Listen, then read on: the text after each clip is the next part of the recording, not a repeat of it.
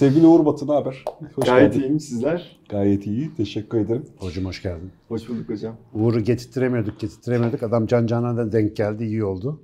En yani sonunda buluştuk hem de bir masada Sadece arıyorum hala. Uzun zamandır geri arıyorum. Taşınıyorsunuz oradan oraya. En son stüdyoyu buldum. Vallahi adam haklı. İlk e, ofise geldiğinden beri dört kere taşındık. Tabii, tabii, tabii. Bu arada neredeyse 130 program oldu. E, sadece iki kişiyi konu kaldık. E, bu Harika konuda ya. nadir anlardan bir tanesi bizim için. Benim için de gayet güzel ve hoş bir şey. Ama en havalı konuklardan biri değil mi? Hem iş güç hem hep yani, adam. Adam fenomen yani. Yani olduğu, olduğu, olduğu yerde karizma yani kendisi.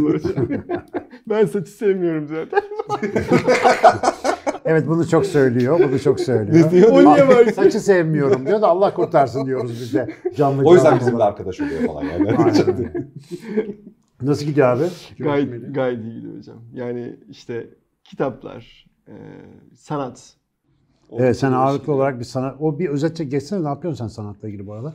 Hocam şöyle yani çok uzun yıllardır zaten e, daha çok resim tarafındaydım ama bunu biraz şimdi enstalasyonlarla e, birleştirdik. İşte içerisinde bazen metal heykeller, bazen farklı malzeme kullanımlarıyla işler yapıyoruz. Sevgili Kenan Işık'la birlikte.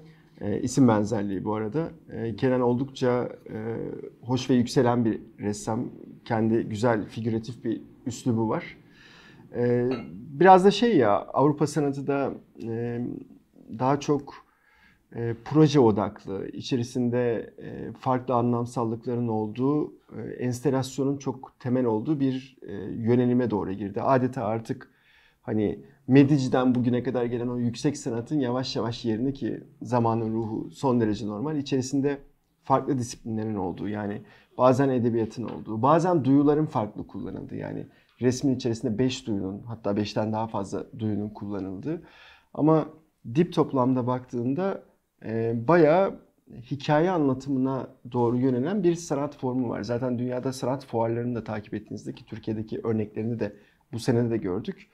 Artık tarzlar birbirine girmiş durumda. Malzeme kullanımları oldukça çeşitlenmiş durumda. Adeta bunu yapmadığın zaman da artık bir eksiklik olarak Yani artık ediliyor. mevzu eserin kendisinden ziyade anlatılan hikaye onun nasıl eşlik ettiğiyle tabii, alakalı tabii. bir şey. Her şey hikaye anlatımı herhalde hocam yani. Bizim yaptığımız işte öyle. İşte anlam bağı yani o nesne, o müzik ya da işte o görüntünün kendisinin hangi yani, tür yani. anlam bağına bağlı olduğuyla alakalı. Yani işte gülümseyen bir kız çocuğunu görüyor olmak bir şey ama gülümseyen kız çocuğunun 2000'li yıllarda Galatasaray'ın şampiyonluğunu izlerken gülümsediğini bilmek anlam bağı kurdum. Ki o günden beri de kullanmıyoruz, gülemiyoruz hocam. Bir de böyle, böyle bir şey yani. Hani futbolla az ilginiz olduğunu biraz önce öğrendim. 2000 yılından beri gülemedim. Evet. Öyle söyleyeyim. En son mesela o onu... Güzel kompliman futbolla az az ilgi dedi. Bu benim hayatımda aldığım futbola en büyük kompliman. Çünkü futbolu söyleyemiyorum bile ben. O derece top var değil mi? ya bu arada yani sanatla ilgili aslında başka bir konuyu planladık arada ama bunu merak ediyorum gerçekten ne düşünüyorsun da üzerine. Ee, ben bu arada resim bölümü mezunuyum. Süper. Ee, seçkinci bir grubun sanatı yönlendirmesinin oluşturduğu kültürle beraber büyüdüm. Yani bizde bir sanat galerisi ya da bir e, seçici kurul ya da biçim seçer o seçki toplumsal anlamda sunulur. Biz de sanatı o olarak biliriz ya da öyle biçimlendiririz. Bu bir resim sergisi de olur, müzik parçası da olur falan. Bir şey. Onlar beğeniyorsa güzeldir. Evet evet Onlar yani o bir seçkinci grup seçiyorsa o seçkinci derken negatiflemek istemiyorum. Yani o eğitimlerden olur bilmem nelerden olur ama yine de bir grup ya bir monarşi yönetir sanatı yönetirdi. Ee, ama, Post-truth öncesi hemen hemen her yerde olduğu gibi. Evet, Akademi de öyleydi. Evet, evet. Devlet idaresi de öyleydi. Evet, e şimdi sanat birdenbire gerçekten içine bomba bırakılmış gibi patladı. Küçük küçük binlerce yani binlerce yüz binlerce bir sürü spesifik şeyle kazırsan karşılaşıyorsun ve ciddi bir bölümü hayret verici. Yani tuhaf bir yerde Rusya'daki küçücük bir Instagram hesabı üzerinden yapılmış acayip enteresan şeylere rastlayabiliyorsun ya da çalışılmış. Bunu bilme ya da gezmeyle nasıl baş ediyorsun? Yani yani hepsi öyle ya da böyle sanatın bir bölümüne giriyor ya da sanat tanımını içersen zaten giriyor da mesela onu görme, bilme, sana seçilmemiş alanda kendini seçme alanında kendini yalnız hissediyor musun mesela? Nasıl geliyor?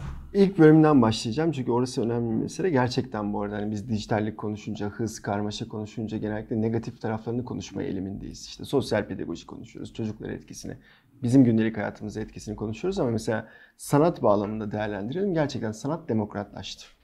Değil mi yahu? Evet, çok, bu arada çok çok haklısınız. Yani e, şimdi ana konuşacağımız meselede de öyle. Yani yayıncılık tarafına da baktığınızda e, mesela yazının matematiği anlamında dünyanın en iyi kurgusunu bile kaleme alsan e, o elitist yaklaşımın kabulünden geçmediğin zaman, filtresinden geçmediğin zaman, aslında ilişki yönetiminden geçmediğin zaman, hadi açık söyleyeyim yani ilişki yönetiminden evet, geçmediğin, evet, evet. o yakınlıktan geçmediğin O lobi faaliyeti Evet. Sadece sen biliyorsun çok iyi yazdığını. Bakın Türkiye'de yıllardır e, pek çok alanda, kitapta da öyle, edebiyat araş o yarışmaları aynı jürilerden oluşur. 20 yıldır değişmeyen jüriler ya da sanattaki o sizin ifade ettiğiniz o seçkinci tavır. Seçkinci tavrı azımsamak için söylemiyorum. Yani bazen seçkinci tavra ihtiyaç olur ki işte doğal seleksiyonun meselelerinden biridir. Yani seçenin seçtiği kalite düzeyi eninde sonunda toplumun genelini ilgilendirecek bir mesele. Ama e, söz konusu olan özellikle bizim ülkemizse bu biraz daha tarafkirliğe doğru yönelen e, ve yeni yaratımların önünü de gerçekten e, tıkayan hatta kapatan bir meseleydi. Allah'tan şimdi e, sanat fuarları hala girmesi çok kolay fuarlar değil. Hala çok zor bienallere falan giriş bir galeriyle girmediğin sürece çok ciddi paralar, bütçeler harcamadığın sürece hala kolay değil. Ama ne oluyor? Birden sizin ifade ettiğiniz biçimde internetin bir köşesinden kardelen çiçeği misali filizlenen bir sanatçı e, kendisini hiç kimsenin ifade etmediği bir tarzda ifade edebiliyor. O özgün anlatımın arkasına biçim, üslup giriyor. Ona ait bir tarz giriyor. Müthiş bir hikaye girebiliyor ve bir anda o seçkinci dediğimiz grupta e, radarı oraya doğru çevirip ben bunu dikkate almalıyım mecburiyetinde kalabiliyor. Dahası var. Daha yol tam olarak buraya doğru gelmedi. Daha ben sanat çevresinde şunu söyleyeyim. İşin biraz örgütlenme tarafına da bakıyorum. Ee, çok yetenekli ressamların, e, görsel sanatlarda çalışanların ya da e, işte heykel ve diğer disiplinlerde çalışanların e, malzemelere ulaşımının çok sınırlı olduğunu, ürettikleri eserleri sergilemekte son derece ciddi problem yaşadıklarını, gerçekten dünya çapında işler yapmasına rağmen e, o tabirle söyleyeyim arkasında bir adamı yoksa yani onu destekleyen bir e, yani nepotizm burada da var bu arada başka bir formuyla var. Yani her türü kötü. Bu da kötü yani hani Tabii. neresinden bakarsanız bakın. E, bu da işte hocam siz yıllardır anlatıyorsunuz. E, sanat bağları e, kopmuş bir toplumun e, bilim üretmesi, inovasyon üretmesi, demokratik olması, katılımcı olması, etkileşimli olması çok zor. E, bunun dibine kadar da hissediyoruz bu ülkede. Bunda çok ciddi bir dezavantajı var ve yaşıyoruz. Umarım kırılacak onu söyleyeyim. İkinci meseleye gelince e, bu, bu da büyük veriyle ilgili. Gerçekten her yerde her şey var. E, işte Big Data vardı, Bigger oldu, Biggest oldu artık. Yani dedik ki bununla başa çıkamıyoruz o zaman bari filtreleyelim. Buradaki mesele olayı filtrelemekle ilgili. Önce e, tanımak, bilmek, seçme kabiliyetine sahip olmak. E, nerede dolaştığında hangi bilgiye ulaşabilirsin? Bu bilgiyi senin için anlamlı hale nasıl çevirebilirsin? Oradaki sürdürülebilirlik yani o bilgi kanalını takip etme meselesi, onun sana açılmadığı diğer ihtimalleri göz önünde bulundurmaya benziyor. 2017 yılıydı Finlandiya eğitiminin e, hashtag'i gibiydi o yüksek bilginin filtrelenmesiydi. Yani onlar konsept eğitim tarzları yapıyorlar. Yani bu sene bilginin filtrelenmesi meselesini e, konuşuyoruz.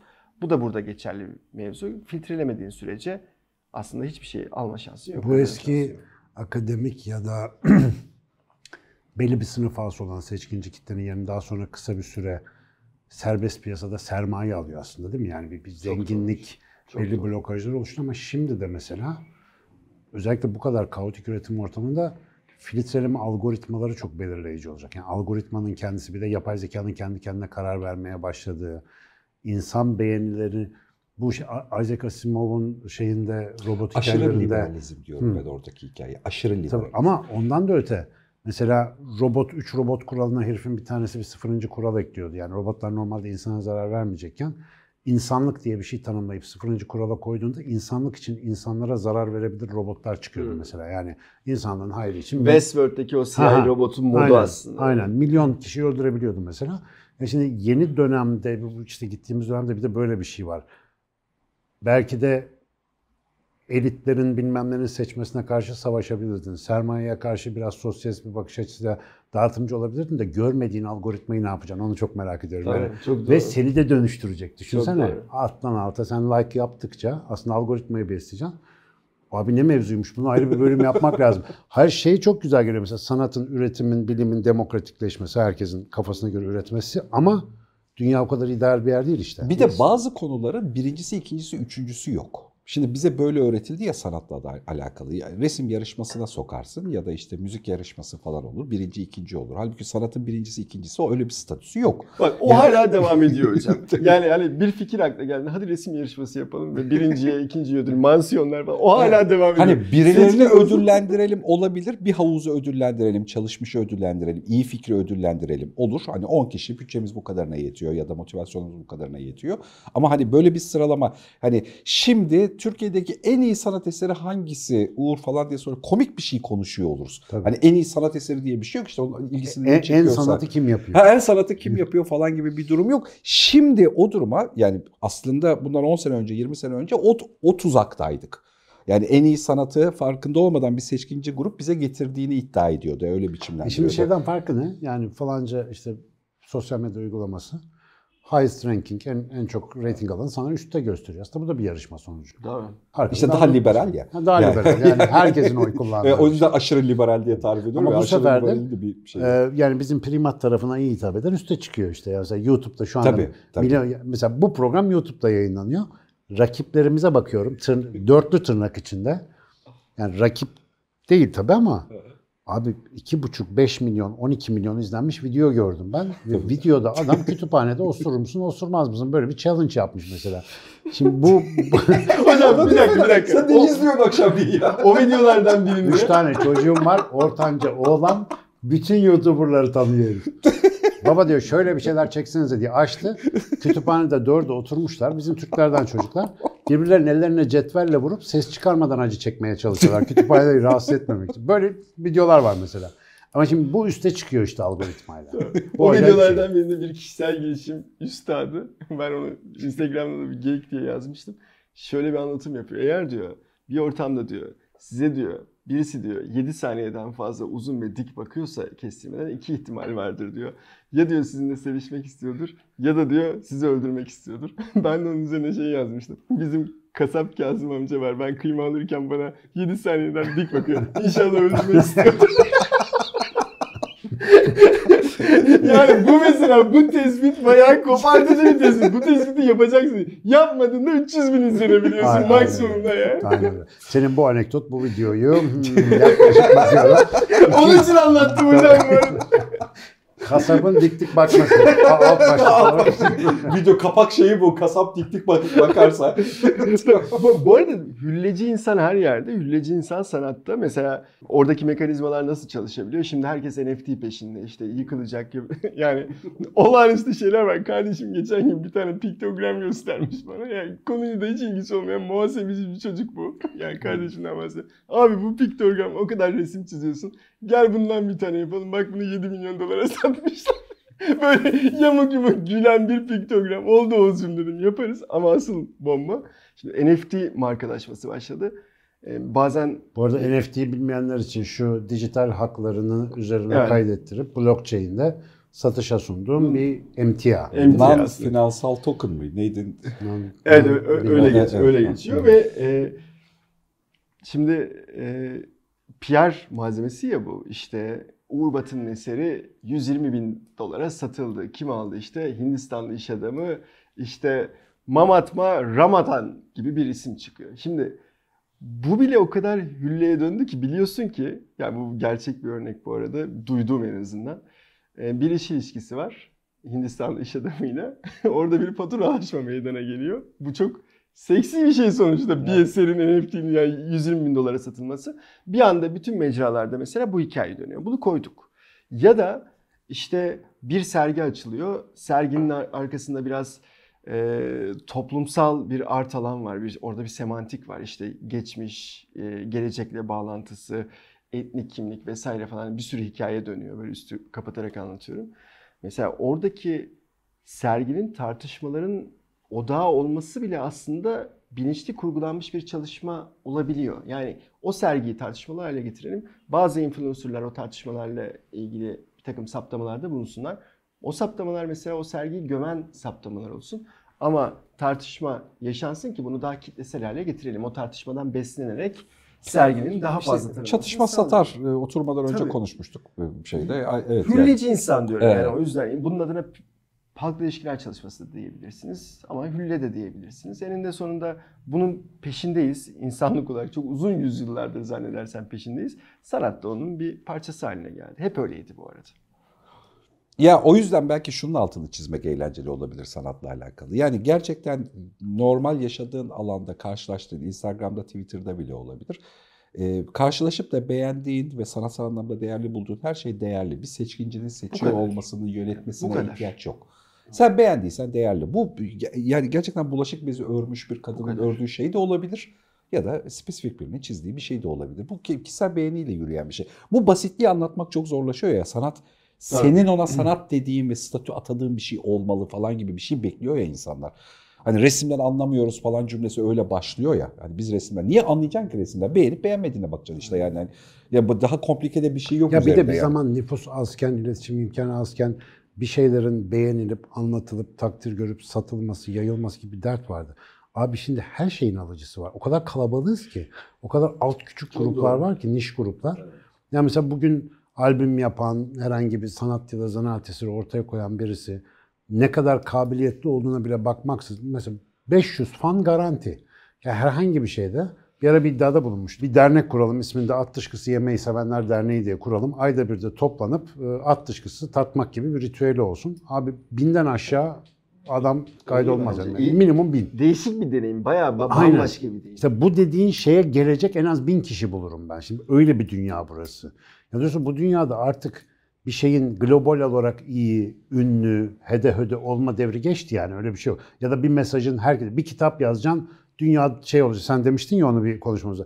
Bir kitap yazacaksın işte Tolstoy gibi paradigmayı değiştireceksin. Yok abi böyle bir şey. Evet, evet. Senin niş kitlen var. Onlar da yeterince gaz verirse kendini peygamber zannedeceksin. Takılıp gideceksin işte bu dünyada böyle. Şey aklıma geldi. Ee, mesela toplumda da öyle büyük bir kırılımdı ya o arabesk meselesi. Yani 70 yıllar boyunca televizyon yayıncılığının, radyo yayıncılığının esasını belirleyen insanların tam anlamıyla toplumun böyle göbekten ortaya ikiye bölündüğü ve tartışması da 10 yıllar boyunca süren bir meseleydi ve o da anladı isimlerden biri mesela Müslüm Gürses'ti.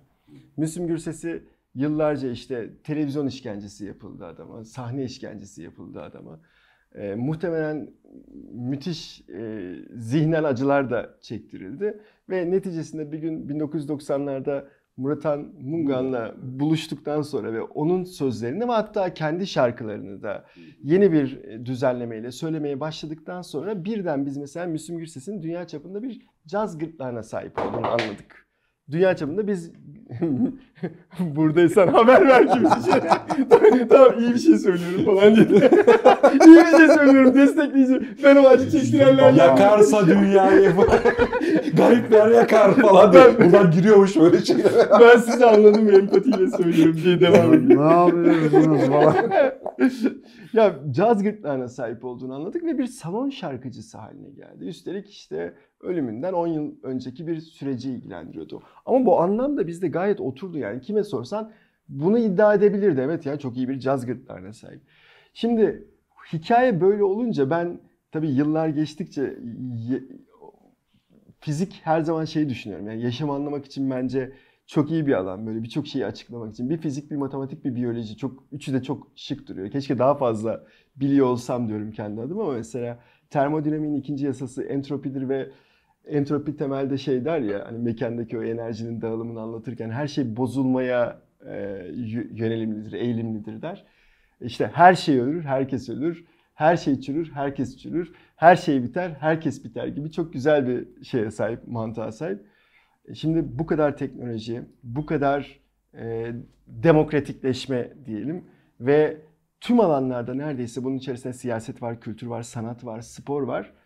Yekünün aslında çok bozulmaya yüz tuttuğunu görüyoruz. Anlamı aramak, bulmak iyice zorlaşmış durumda. O zaman kitaba geçiş için de iyi bir vesile olsun. Aklıma şey geliyor. Bence dünyanın en entropik varlığı Charles Bukowski. Neden öyle söylüyorum? 40'lı yaşların sonuna kadar yazdığı kitapları, şiirleri yayınlatmak için tabiri caizse bir tarafını yırtıyor. Binlerce yayın evine gönderdiğini söylüyor. Ve binlerce yayın evinden gelen cevap, o da cevap gönderenler genellikle sen ne salak şeysin ve böyle salak şeyler yazılır mı tadında bir şey oluyor. ısrarla devam ediyor yazmaya eserlerini. Ee, bu arada hani hayatının böyle üç odak noktasını bizim reklamcılıktaki USP diye eşsiz satış önermesini diyelim. Alkol var, madde bağımlılığı var. Bir de taciz ettiği kadınlar var. Adam da böyle bir adam. Yani bu anlamda pek mata bir adam olduğu söylenemez. Sonunda 40'lı yaşların sonunda e, bir yayın evi, küçükçe bir yayın evi. o da şöyle bir cevapla dönüyor Charles Bukowski'ye. Diyor ki Biz hazır batıyoruz. e, baya, neredeyse öyle yani. Sen bayağı saçma tip gibi duruyorsun ama yazdıkların farklı görünüyor. Bak iyi falan demiyor. Dolayısıyla yayınlamaya karar veriyoruz diyor. Neticesinde Postane romanını 3 haftada yazıyor. Yazı yayına, kitap yayına girdikten sonra 100 milyonun üzerinde bir satış rakamına çıkıyor. Müthiş bir ün kazanıyor. Şiir dinletileri dünyanın her yerinde kara borsa biletlerle satılmaya başlanıyor. Ama olan şey şu. Charles Bukowski orada kazandığı para ve ünle daha fazla uyuşturucu kullanıyor. Daha fazla alkol tüketiyor. Daha, Daha fazla, fazla kadın kadını taciz ediyor. ve neticesinde 6 yıl sonra da yaklaşık ölüp gidiyor. Dolayısıyla her şey ölür, herkes ölür. mezarına, mezarına da şey yazdırıyor biliyorsunuz. Çabalamayın. Çok iyi bir anekdot. Sanatın durumu da yaklaşık bu. Sanat da entropik diyebiliriz. Bak şimdi o kadar reddeden yayın evi adama iyilik mi yaptı, kötülük mü yaptı? Buyurun işte. işte. kötülük problemi. Ne güzel bir örnek. Bence iyilik yaptılar adama. Ee, kesinlikle evet onu destekleyecektim. Yani iyilik denilen şeye şimdi yapacaksın tanımı bu yüzden geliyor ya. Aynen. Yapacaksan aklına geldiyse şimdi yapacaksın. Ertelersen konusu değişir. Aynen. Onun iyilik mi kötülük mü olduğuna sistem karar verir ve o dalgalanarak devam eden bir şey. Sen peki yazar modu olarak esas aslında masaya otururken onu konuşacaktık ama sanat konusu daha evet, evet, güzel de geldi Güzel. olduğu yerde. tabii. Ya oraya giriş de yapayım. Hani ne konuştuğumuz da belli olsun hani mevzunun içerisinde. Tarafımız belli olsun. Tarafımız belli başlık olsun. atacağız abi. Ya bu dönem kendini ifade etmeyle alakalı özel bir dönem ya. Yani işte birdenbire 150 kişiden milyonlarca kişi aynı masadaymışız gibi bir durum oluşuyor. Herkesin bir iç duygusunu ifade etmeyle alakalı yeni bir dönem oluşuyor. O yüzden kişisel markalaşma yeni bir alan oluşturuyor.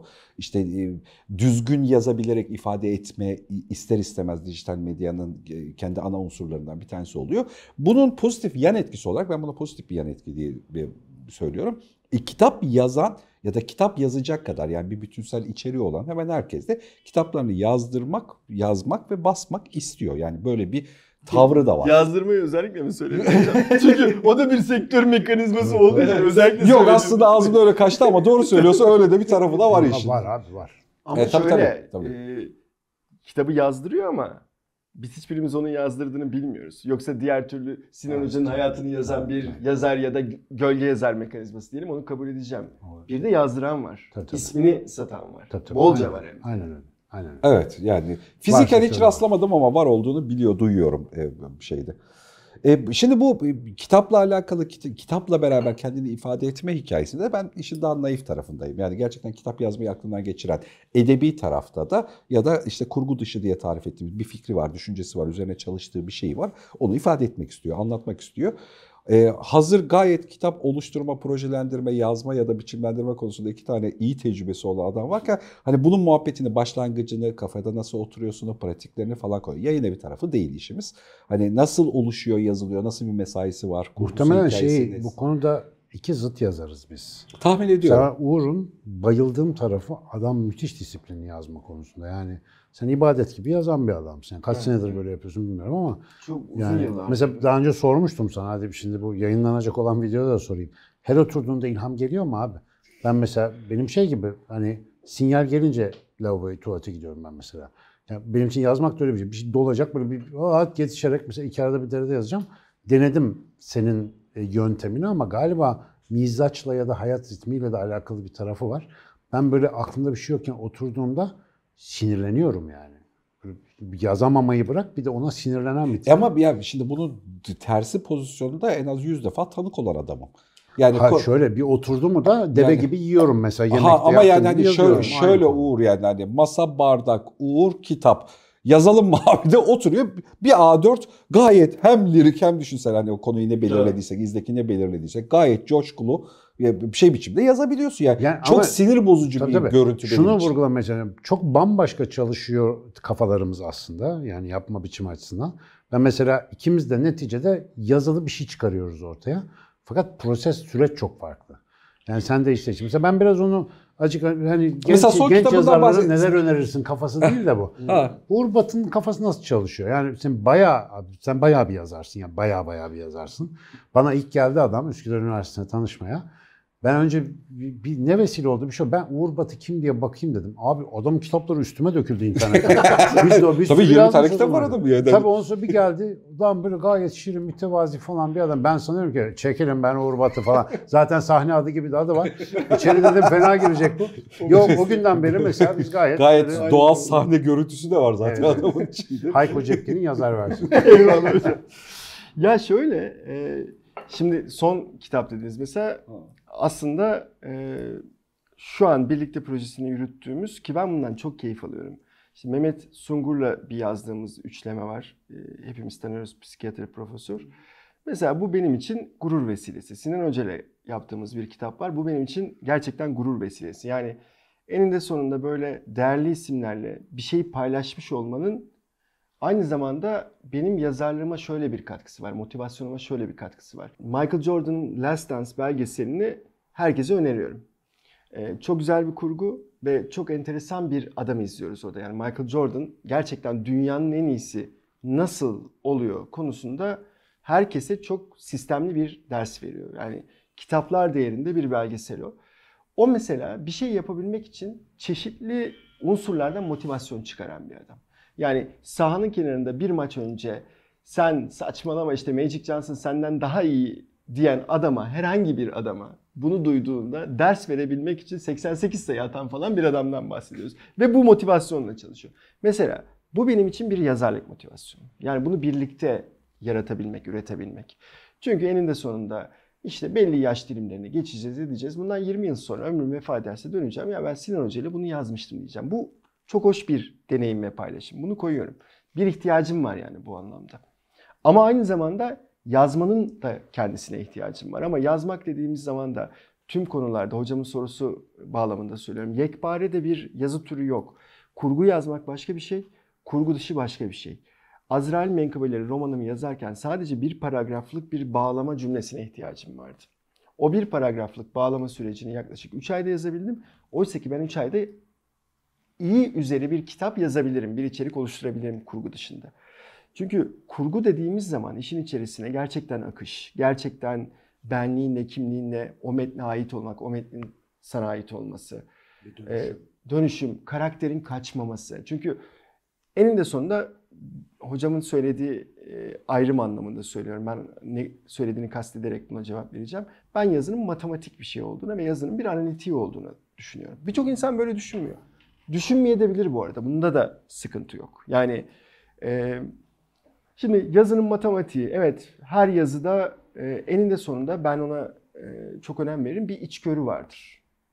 Ya sen bu kitapta hangi içgörüyü yakaladın? Bak ana fikrinde ne yazdığını söylemiyorum. Hangi içgörüyü yakaladın? İşte reklamcılar da sonuçta o içgörünün peşindedir. Yani milyonlarca TL'lik araştırmalar yaparlar. Pazarı rekabeti analiz ederler ama sonuçta ortaya koyacağımız kelime bazen tek bir kelime, bazen tek bir cümledir. Yani ben burada hangi içgörüyü yakalayacağım? Mesela basketbol, şey voleybol milli takım oyuncusu Ebrar'ın oynadığı e, Elidor reklamında değil mi? İçgörü neydi orada? Bu işi yapmanın bu yolu da olabilir. Ya da böyle bir yaşam tarzı da olabilir.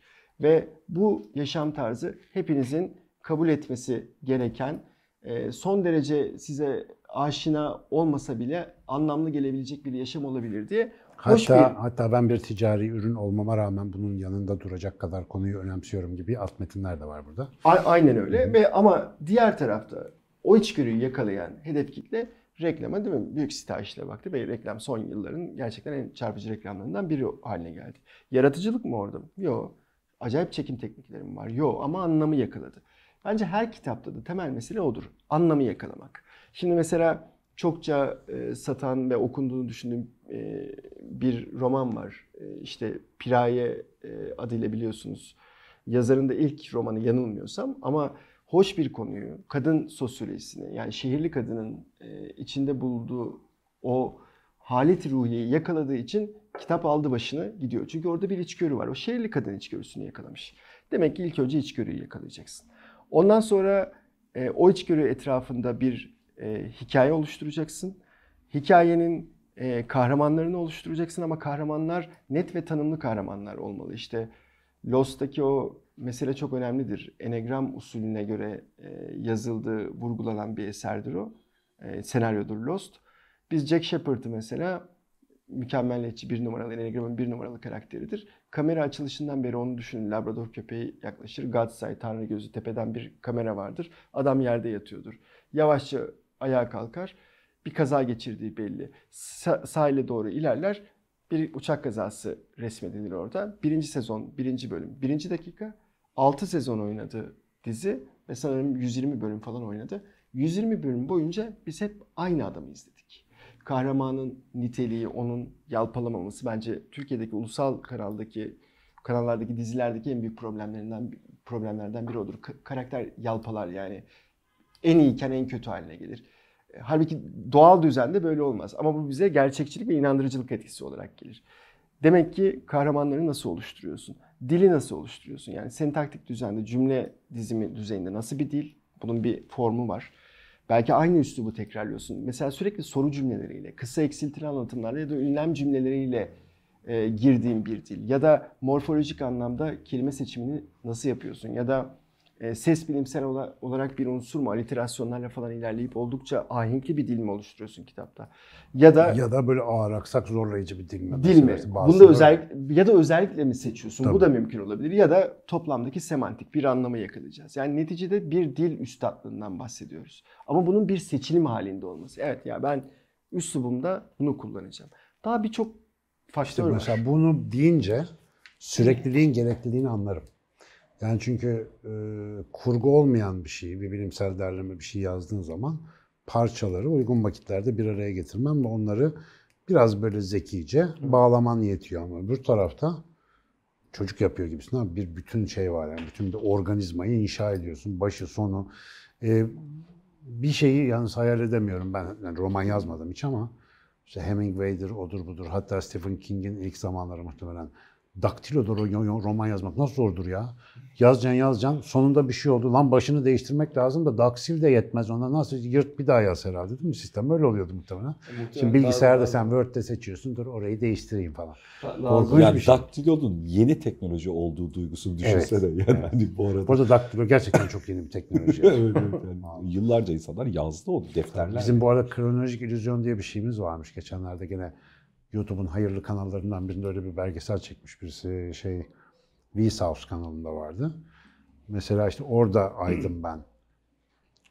Ay'a, Ay'a gidişten 3 sene sonra doğduğumu, Ay'a inişten 3 sene sonra doğduğumu dehşetle fark ettim. Ay'a iniş siyah beyaz falan da çok eski o falan. Lan 3 sene önce benim doğumumdan yani çok yakın bir şey. Ve şimdinin mesela çocukları için işte 2000'ler 90'lar e, bizim için o 60'lar 50'ler falan gibi çok uzak. Bizim için daha dündü ama onlar için çok uzak geçmiş falan gibi. Bu çarpılmalar nedeniyle de o zamansal şeyleri zihnimizde tam olarak canlandıramıyormuşuz. Mesela ben şimdi daktilodan bahsederken çok eski bir şeymiş gibi bahsediyorum ama ben daktilo kullandım mesela yani. Ben Tabii, onu tabii hatırlıyorum. Şaka şaka. Hatta bir ara daktilo öğreneyim diye bir kariyer planı vardı. Tabii. Allah'tan bilgisayar çıktı yani Allah'tan. Çok Günlük yaşlı mesai olduğumuzda nasıl yazmayla alakalı? Yani ne, yani pratiğin şeyi nasıl? Ya da ben önce başka bir şey sorayım. Çok özür dilerim. E, Projeye ne- neye göre karar veriyorsun? Yani abi Ha, öyle oturmaya ne yakın nasıl Ha. karar veriyorsun? Yani o cihaz başına nasıl oturuyorsun? E, kitap yazacağım diye. bir şey ya yani bir kitap projesine karar verdiğinde ne yaparsa ya böyle ya da böyle bir yıl ya onun ömrü yani hani bir yıl uğraşacaksın o konuyla alakalı. Kesinlikle Bir şeye bir yıl boyunca uğraşıyor olmaya nasıl karar veriyor? E, zaten işte orada bitiyor. Bence hani süs bir laf gibi durur ama bir kitabın bence konseptine karar verip neyi anlatmak istediğini o tepe başlığı koyup da içerik kısmını yapılandırdığın zaman kitabın %50'si bitiyor. Ondan sonraki mesele biraz o kitaptan ne kadar heyecan duyup duymadığınla alakalı bir şey. Bazı kitapları yazarken çok heyecanlı olarak bu çok iyi bir konu ve ben bu konuyu çok güzel açılımlarım, bu konuda söylemek istediklerim var diye giriyorsun ama kitap tık nefes olabiliyor. İlerleyemeyebiliyorsun. Sen yazamıyorsun yani. Deniyorsun olmuyor, deniyorsun olmuyor, deniyorsun olmuyor. Mesela Sinan Hoca ile yazdığımız kitapta e, belki bir önceki şeyi de bitireceğim. Hani ona bir ekleme yapayım yoksa onlarca madde sayılabilir ama ne yaparsan yap, hangi analitiği, matematiği uygularsan uygula, kurguyu bil, çatışmayı bil, dili çok ustaca oturt. Her zaman bir kere e, sürprizlere yer vardır. Eğer kitap yazımını kurgu ya da kurgu dışında biraz sürprize yol açmazsan, o kadar analitik gidersen de gerçekten sıkıcı, Sıkıcı. bir şey haline gelebilir. Yazar sıkılırsa okuyucu kesinlikle Her sıkılır. düzeyde kaos güzeldir canım. Evet. Zaten hani yaratıcının e, siz siz yıllardır çok hoş açıklıyorsunuz. Yani yaratıcının özünde kaotik bir düzen var. Yani o çok sistemli bir şey gibi durmuyor. Biz olsa olsa herhalde onu sistemli haline getirerek e, insan kıvamına getirmeye çalışıyoruz. Önümüzü görmeye çalışıyoruz. Bu biraz insanın şey hani e, nasıl diyeyim e, zavallı bir arayışı gibi de duruyor. Yani o kaotik olan şeyi bir düzen haline getirme meselesi. Bu unsurlardan biri yani kitap yazımında işte orada kişisel yaratıcılık dediğimiz şey, e, kapasite dediğimiz şey e, devreye giriyor ki o belki de işin %50'si haline geliyor. Sizin metinlerde mesela bir şey ki ben kitaplarınızı yani zat- zaten okuyarak o metinlere tekrar baktım ama bir şey buldum mesela. Bulduğum şey benim kitaplarda daha az yaptığım bir şey ama o da sizin tarzınız. Daha doğrudan göndermeler var. Net olarak bu böyledir iddiası var. Ee, o felsefeyle iyi birleştirilmiş, konuştuğunuz gibi yazıyorsunuz. Zaten iyi bir belakatiniz var ve o akış zaten sizi. Şimdi hiç kimse televizyonlarda, sahnede falan durduk yere bizlere hadi gel de konuş demiyorlar. Yani birçok insana gel konuş diyorlar. Ama bir zaman sonra o birçok insan olmayabiliyor. Yani burada bir hikaye anlatıcılığı kapasitesi var. Aynısı yazıda da var sonuç itibariyle. Bu mesela sizin metinlerde keşfettiğim bir şey. Ama bu kitapta bana heyecan verdi. Aa dedim bunlar çok iyi metinler. Ben bu metinleri mesela şöyle işleyebilirim dedim. O zaman metnin içerisine yarı kurgu unsuru ekledim. Metinleri bazen bir şeyin içerisine gömdüm. Bazen yerini değiştirdim. Bazen bölümleri değiştirdim. Bu burada daha iyi olabilir diye. Yavaş yavaş sizle benim yarattığım aslında bir yapı kurum ve aynı zamanda bir yapı bozum hikayesine girdim. Yani bir metnin yapısını bozuyorum. Ondan sonra yapıyı tekrar kuruyorum. Şimdi siz alacaksınız. Tekrar biz bozacaksınız ve tekrar kuracaksınız. Zaten ikili yazarlarda, kitaplarda da hoş olan şey budur. Yani metin tekrar Şu eline an dört ayrı geldiğinde kitap olarak çıkacak. O kadar bozacağız ki bir daha bir araya getiremeyiz. ki bu, bu bence şöyle hoş bir şey ama bence okuyanlar da mesela onu anlayacaklar. Sizi görecekler, beni görecekler, ikimizin birleştiği halini görecekler. Bu da başka bir heyecan türü. Bunu kurguda yapmak çok kolay değil. Denemeler var. Yani iki yazarın yazdığı kurgu eserler, iki Stephen King ve Peter Straub'un Gibi. gibi. gibi. Bu çok heyecan verici de olabilir. Ee, iki yazarın ki. kavga edip Ya, çıkacağı bir ya, şey haline de O gelebilir. bana o öyle faaliyetler bana şey gibi geliyor. Koro gibi geliyor. Evet. Koro söyleyen için çok güzel, dinleyen için çok iğrenç bir şeydir ya. Yani hani şey de ama söylerken çok güzel bir Ya yerde. lan Carmina Burana ne güzel şarkı. Ray ray ray ray dedi mi? Ya o Şimdi ama Mustafa şey Hocam'ı- senfonik rock başka bir şey yani. Hani şey, Mustafa hocamı paketten çıkaracağım hocam. Ben hiç katılmıyorum. Kore'ye bayılıyorum. Ben özellikle Kore. Vardır ya böyle fırsatı yakalayıp gömen adam böyle. Bu arada demin, yani hani- demin söylediğim bir şey de şey olmasın ben onu unutmayayım bak şimdi kayda geçsin. Ben galiba tweet yazmak üzere yazdım onu sonra atmadım. Taslağımda duruyor olabilir. Öyle bir ilham gelmiş. Hani insanlaştırıyoruz dedin ya. Şey diye bir şey yazmıştım galiba. Tam metni hatırlamıyorum ama sanatçı kozmik ya da ilahi ilhamı insanileştiren biyolojik bir filtredir diye bir şey yazmıştım. Öyle bir şey hissetmiştim yani.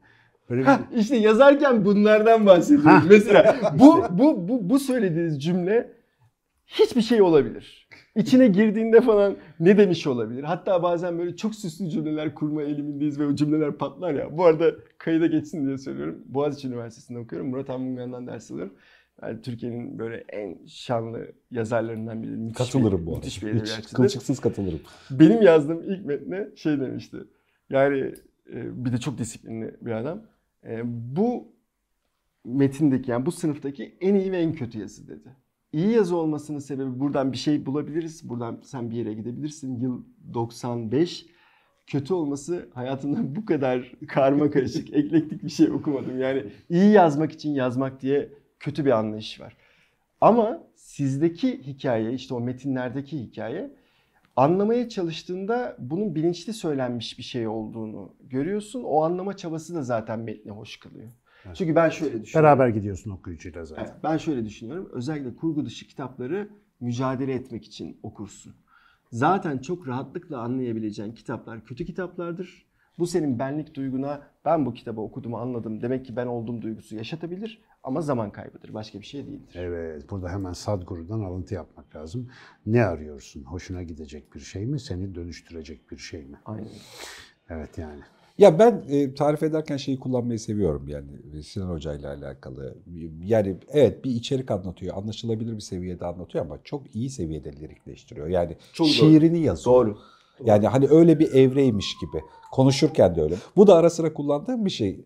E, iltifaten değil yani hani tespit yani ne, ne farkı ne ne oluyor insanlar nasıl anlıyor falan hikayesindeki bir evre durumu. Yani insanlar çok güzel hikayeleştirebilir ama sen şiirleştiriyorsun belli bölümleri. Yani bir şey. Ve bu hipnotik bir şey. Evet. Gel, gel, şu Evet, an, evet, evet. Şu an, Ben, Akış benden kuruluyor. bahsediyorlar. Yani şu an şey- şeye dönüyor hikaye. Bence şeye dönüyor. Hipnotik yazarlık falan gibi çeşitli şeyler görüyorum ben. Yazarlık kapları. Evet. Abi bir şey yazarlık. söyleyeyim. Ben mesela bilim kitabı çok okuduk yani bir şeyimiz, mesleğimiz itibariyle falan ama ben şimdi geri dönüp kendi kitaplarımı okuduğum zaman hoşuma gidiyor. yani çünkü hep mesela üniversitede falan da biri böyle bilim kitabı yazsa mesela en çok buna Kaos kitabı yaklaşırdı. James Crick'in Kaos. Çok teknik olmasına rağmen bazı yerde de sıklıkla kitabın içerisinde böyle muhteşem, tüyleri diken diken eden falan gibi ifade var. Yani işte böyle derdim. Çünkü o bilgi bana öyle hissettiriyor. Ben yazarın da onu öyle hissederek bana anlattığını duymayı çok istedim mesela. Ama birçok bilim kitabındaki çok güzel mesela hakikaten Dawkins gibi, Meyer gibi böyle evrim gibi muhteşem işlerden bahseden insanlar bu böyledir, bu böyledir, öyledir. Hadi en fazla enteresandır falan diyorlar. Enteresan falan değildir bu. Yani insanın aklını alacak mevzulardan bahsederken işte orada biraz edebiyat, şiir, lirik, incelik, söz inceliği orada giriyor. Oraya biraz fazla kasmak zorunda hissediyorum galiba. Çünkü ben bilimde de hiç sıradan konu sevmedim ki abi. Sen diyorsun ya zilleri takıp gelen benim işim o. Siz konuşurken ama mesela yazarken olduğunuzdan daha şiirselsiniz. Tabii yani acı, de- şey- Ekrana şekil yapıp. Evet.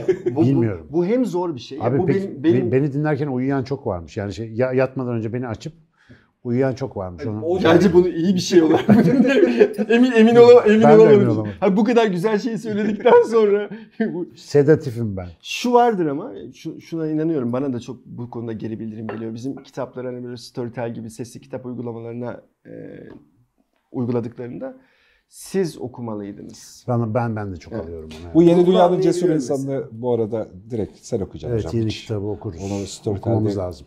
Doğru. Hmm. O, o şey çok farklı. Yani ben de yadırgadım kendi kitabımı Storytel'den dinlerken. Hadi benim yadırgamam çok normal. Ben onları yazarken kendi iç sesimle konuşarak yazdım. Çünkü şimdi başka biri okuyor.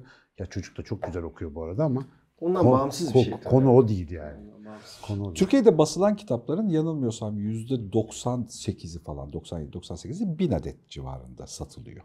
Ve genellikle de tek, tek yazar. Yani bir yazar yaklaşık %92'lik bir rakamı vardı. Kaç yıl hatırlamıyorum ama son 10 yıldaki rakam.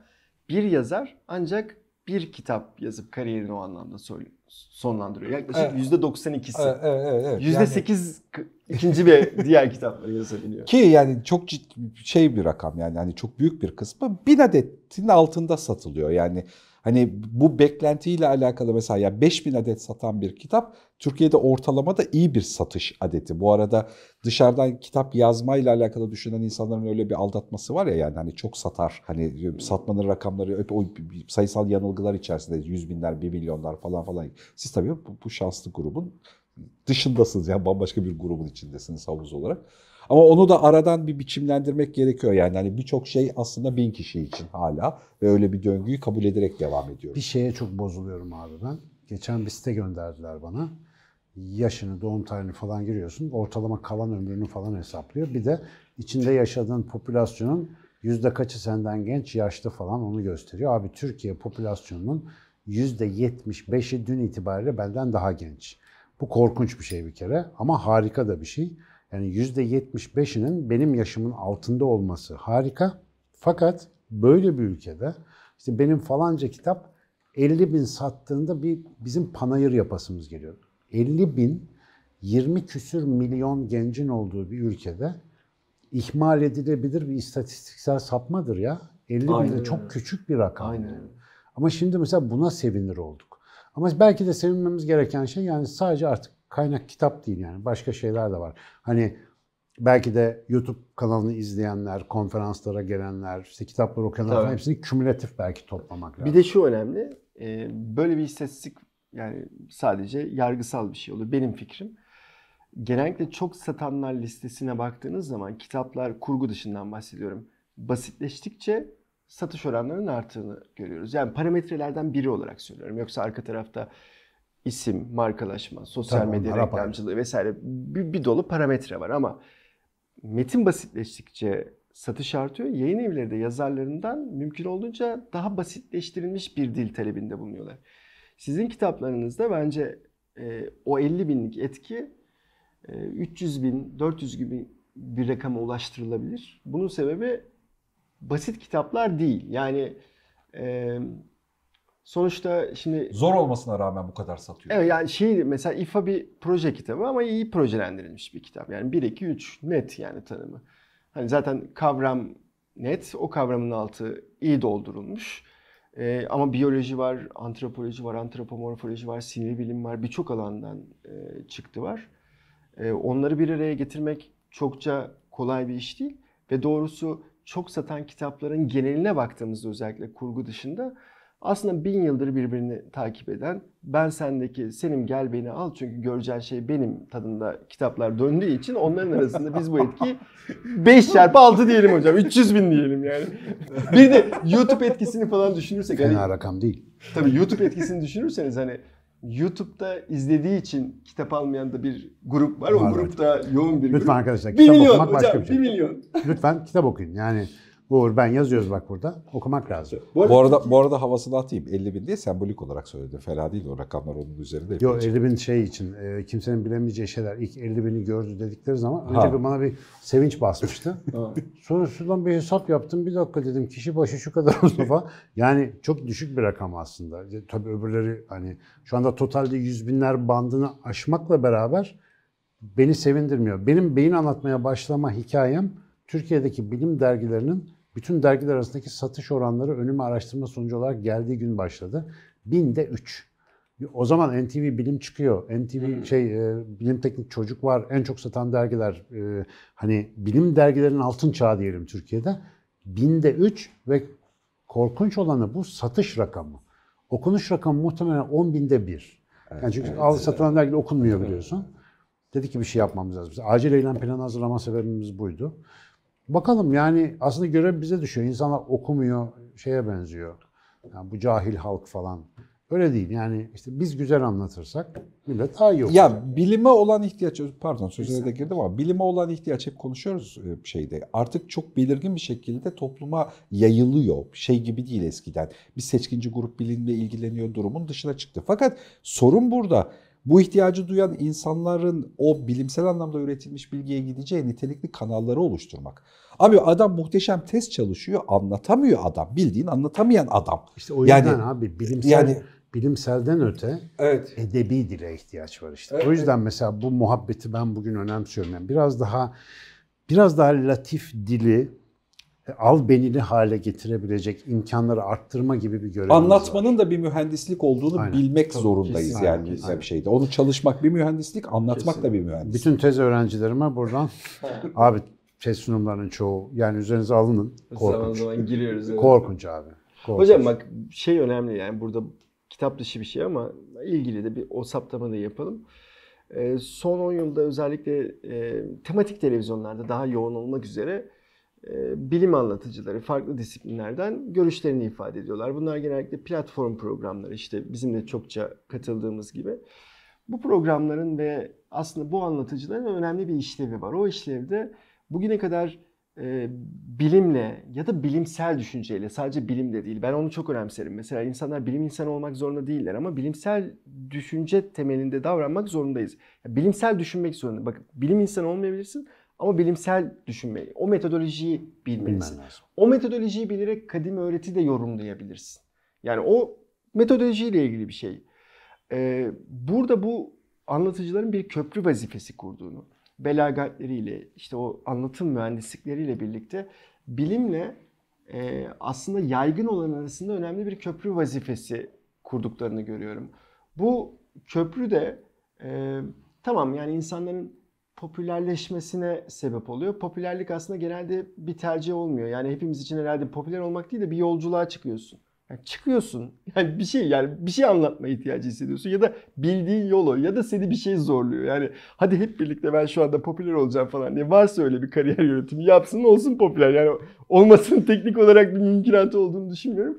Bu da iyi bir işlev. Yani bütün yani bizi izleyenler de bu mantıkla bir düşünürlerse bence bu 10 yıldaki bu platform programları, bu anlatıcılar e, hem yayınların biçimini, hem insanların ilgi alanlarını, hem kariyer tercihlerini, hem başka hayalleri uyandırdılar. Ya evet ya işte Sinan Canan gibi olmak diye bir fikir mesela. Bu iyi bir fikir. Var, daha iyi, evet, daha var. iyisi, daha yani. iyisi olsun hocam, daha inanılmazı Kesinlikle. olsun, daha evrensel, her şey olsun. Burada sıkıntı yok ama bu ilhamı vermek önemli. Aynen öyle. Burada farkında mısın bilmiyorum. Rekor Can Canan bölümü oldu. Bir saati bence gidiyoruz. Evet, evet, evet. Yavaş yavaş da sonlandıralım bu arada. E, tabii.